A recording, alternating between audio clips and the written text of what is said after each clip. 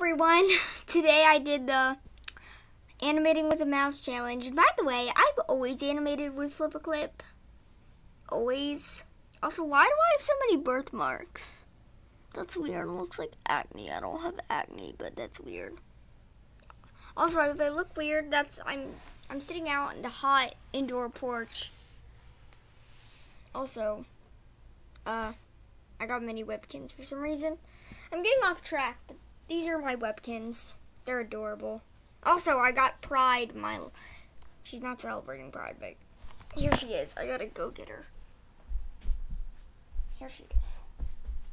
I got three of them. They're all adorable, and some of them need coat shop, and I don't have the coat shop, so that's kind of sad. And so, uh, the link to the project's in the description down there because I animated it in Scratch because, like, that's the only free animating program I know. It's not even made for animating.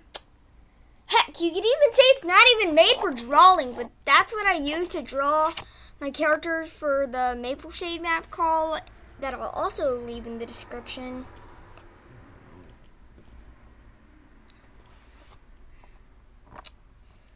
So, yeah. And I also drew the backgrounds with Scratch. I draw everything with Scratch.